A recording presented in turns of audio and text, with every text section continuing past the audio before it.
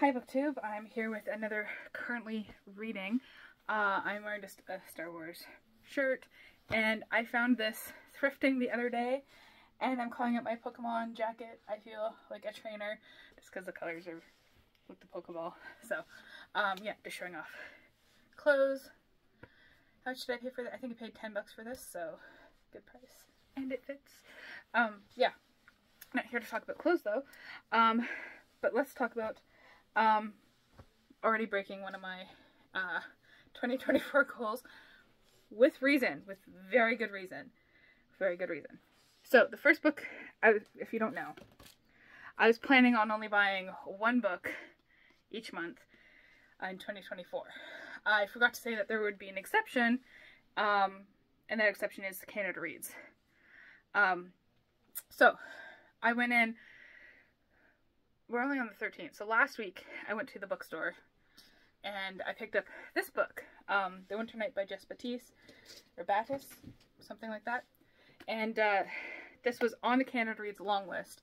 And I looked at the plot and I'm like, that actually sounds really interesting. I want to read that. And I'm going to take the bet that this will be on the short list. I was wrong in that bet. But I'm really interested in reading this book anyways. Um, so this is about the Knights of the Round Table reincarnated, I guess um, in Vancouver. And uh, we follow, oh yeah, so um, Wayne is an autistic college student and the reincarnation of Sir Gawain. Got, got, Gawain. Sure. I, I can say it right in my head. The tongue just doesn't want to cooperate. Um, so yeah, we have um, Hildy of Valkyrie. So they're kind of incorporating many different legends here. And the investigator assigned to a case uh, when one of the Knights of the Round Table ends up dead. So it's like fancy mystery. Sounds kind of cool. Um, so there's that one. And then the shortlist was released on the 13th, 11th. Today's the 13th. On the 11th. Um, and my local bookstore had two of the books. Now, yes, I did buy this one new. I'm gonna give it a chance. I'm not a big, I'm not a fan of romance at all. This is Meet Me at the Lake by Carley Fortune. They try to hide it as not romance, but it is it is very clearly romance. Um, but I had the same reaction to Mexican Gothic. Not that it wasn't like, if I was like, I don't really want to read this kind of like YA, you know, kind of book. I thought that's what it was going to be, and I was wrong. Mexican Gothic is one of my favorite books from last year. Um, so I'm going to give it a chance, but chances are I probably won't like this one. Um, so this is Meet Me at the Lake. Uh, we follow Fern, and she spent too much of her adult life thinking about Will Baxter, and I mean, was just like, but we'll give it a try. Um, this, I've been wanting to read uh, Jessica Johns for a while. Um, and so this is Bad Cree by Jessica Johns. And this is, I don't know what it's about. I read it and was just like, something about crows, I think. She accidentally brings back items from her dreams. Dreams that are similar to real memories of her sister Nakokum before their untimely deaths cool. It's supposed to be like a horror. And it's shiny. And then, okay, I wasn't supposed to buy any used books. But, but, let me tell you. I spent the equivalent price of a new book on this book. Um, and I looked it up, and it was priced actually decently. It was $25 at the thrift store. And normally when I see a book like that, I'm just like, uh, no, why would you do that? Um, but I looked it up on this website I use called Bookfinder, which finds like really kind of obscure books for you. And the cheapest price for that was like 60 some odd dollars. I was just like, I really want to learn more about this topic. Um, so I'm going to spend the $25 on it. This is Both Sides of the Wire by Ted Jones, and this is about uh, internment camps during World War II um, set up in Fredericton. Um, now, I knew about the Ukrainian and the Japanese internment camps set up in Canada, um, and this is uh, mostly European um, um, refugees and prisoners of war um, and Canadian suspects were detained at Ripples, New Brunswick, under the C Canadian Provost Corps and the Veterans Guard of Canada. Um, so yeah, it's about uh, people who are fleeing the Nazis coming over here and being um, put into camps over here. Um, thankfully, they weren't, you know, they weren't death camps. Um, the conditions weren't great, and people died because of it, anyways. But like, but I'm not saying it's better. They should they shouldn't have been done, but I'm not. They're not. They're not uh, concentration camps, um, but they're still pretty pretty bad. Okay, so that's what I bought recently. Um, what I've been listening to recently, I'm going to start with the audiobook because it's there on the top of my head. Um, and I didn't plan on reading this book, but I had a big task of uh, reorganizing my closet and cleaning it. And so I decided to put on an audiobook. I didn't actually finish the audiobook, but got a good chunk into it, and that is book three, four, book four, I think it is now, of The Wayward Children's in an Absent Dream, uh, where we follow the character of Lundy. Um, so this is like a prequel. So Lundy is a character that we meet in the first book.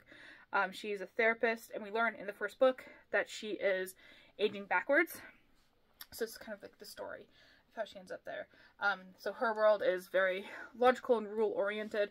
Um, it's very interesting because you can't you have to be careful about the questions you ask because if you if it seems like you're asking for something um, that could take value away from um, you and um, so like people get like lose parts of themselves um, by asking questions in the wrong way and not having anything of value to trade for that um, so yeah um, so she's in the goblin market dealing with that and it's interesting because in her story she can go back and forth whereas most children they can go um, into the world and out of the world, but they can't necessarily go back into the world. But with the Goblin Market, you can. So that's that. Um, so I'm still listening to that. I decided to DNF the comic I was reading um, called The Batman Who Laughs. It had a really interesting premise, but it wanted me to suspend my disbelief far too much. Um, there were ways that I was just like, how are they, how do they know this stuff? Like, you know, I, I, I don't know if I was missing, like, from reading certain volumes that they knew this stuff already. Like the uh, alternate universe Batman's coming through, like Bruce Wayne's. Um, and I was just like, well, how do they know that? Like, how do they, like, hypothesis? And they were just coming up with these things, and I was just like, that doesn't make sense without some pre-knowledge here. Um, and it happened one too many times that I was just like, I don't, I don't want to put up with a story like that. Um, so yeah, I DNF'd that comic. I'm still reading uh, some books that I was reading at the beginning of the month, but I'm planning on finishing Rosewater today, if at all, at all possible. There's like 120 pages left in here. It is really good. I'm really caught up in the story. This is definitely, I'm glad I picked it up, definitely, um, as long as nothing drastic happens. Well, I'm sure something drastic will happen um, plot-wise and character-wise maybe in the next 120 pages, but as long as nothing changes, like with the writing, um, this is going to be a five-star book for me, for sure. It is really good. Um, yeah, we're following, um, as I talk with, see, it's all in first person, so we don't get his first name as a lot, so it hasn't stuck in my head, uh, and I don't know how to pronounce it. It's K-A-A-R-O, so, uh, Kaaro is what I'm going to say. We follow Kaaro it says his name on the back. I could have just read that. Um, anyways, Kaaro, um, he's a psychic um, who was made a psychic by this giant alien biodome that has landed in Ni Nigeria. Um, it's causing all sorts of things, and psychics are dying off, and we're getting his story and him kind of investigating that. And it's really interesting because we're jumping around a lot in time. And it, it is slightly frustrating because a chapter will end on a cliffhanger and you're in like 2055 and then the next chapter is like 2066 and I'm just like, I want to know what happened at the end of that one. Um, but it's interesting. I love when when that is done like right in books. Um, and I feel like it's done right in here because you're getting enough um, books. Um, okay, sorry, I had to pause the video, so I think I was just wrapping up talking about this, that I think it's really well done um, being told in non-linear fashion because um, like the character, the amount of characters is nice and small. Um, so you're getting hints of like stuff that happened in the past and happened in the future and can see the links between uh, the different events and stuff. Okay. Um, I think this book is suffering uh, compared to this book. Um, it's a different story, and if I'd read it at a different time, I probably would have been more intrigued by it, right? But uh, right now, it's very heavy on the politics and the character, um, whereas this one is has like a lot of action. So like, I want to read the book with more action right now. But this is good. This is good. Don't get me wrong. This is very good. Um, it's just that I've been drawn more to action as opposed to um, character right now. Um, so yeah, um, not very far into this, but I'm looking forward to uh, going back into this heavily um, once I finish this book today. Um, and I picked up another book because that's what I'm doing. I'm feeling like I'm forgetting a bunch of books and it's already halfway through the month and I've got to read, catch up on some stuff. Um, and my bookmark is kind of backwards there. I got this cute bookmark at a uh, craft sale. It says cat lover and that looks same coloring as my cat. Anyways, um, so this is Caucasia by Danzy Sensa, Senna. And uh, this is very beautifully written. I'm only 30 pages in. Um, and it's about two sisters of biracial, their sisters are biracial, um, but one is more white passing and one is not. Um, so it's, it um, harkens to passing. I believe uh, Danzy had wrote, written her, um, one of her like university thesis, theses, that tribe, I don't know, again, the tongue doesn't want to cooperate. The, one of her essays was about uh, passing by uh, Larsen, Nella Larsen. So it's interesting to see uh, some of that come into play here. But it's um, it's sisters as opposed to um, as opposed to uh, just I think they were just friends. Were they related? I can't remember. Um, but it's really cool because her sister and her, um, she talks about how um, before she, you know, was aware of um, her own body, she used her sister as a reflection of herself. Um, and like she didn't realize that how different she looked.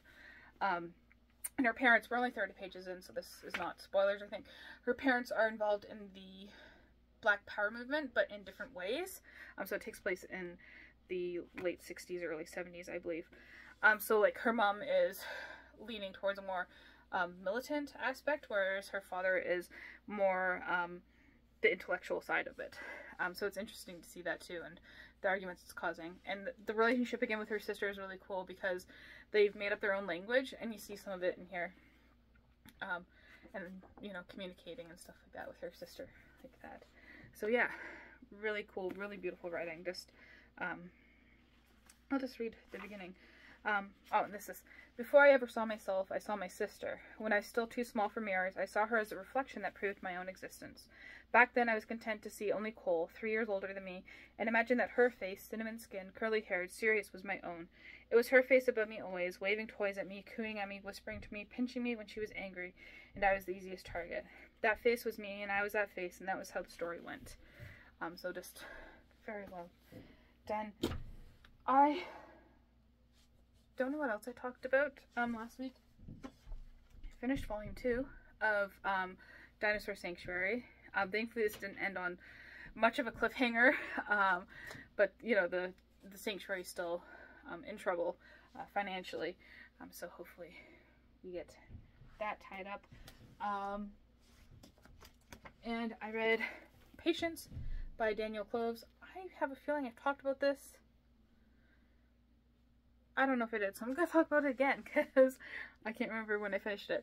Um, yeah, this is about a man whose uh, wife, um, his pregnant wife, gets killed, murdered, and he finds a way to go back in time, and uh, he then gets caught up in this um, idea of whether he's going to um, revenge um, the killing um, after it's happened or try and stop it from happening. Um, he doesn't know what he wants more at, um, at that point. It's really quite interesting um, story. Yeah, plays a lot with the time paradox. And I feel like I've said that before, so I probably have talked about this book. Um, yes, I think that is it. Reading-wise, I feel, again, like I'm not reading enough. Um, but when I look at it like I am, um, it's just things aren't going as fast as I'd like them to go. Um, I guess that's what happens when you pick a lot of books that are not plot based, that are more character um, and idea based. Um, so yeah, that is it. It's the second week of January now, almost wrapped up. That's crazy. We're living in the future. We're living in 2024, and that's still like is almost mind-boggling to me. Um, that is it for this video. Let me know what you've read this week if you're facing the same problem of like being stuck on the same books for a long period of time and thank you for watching.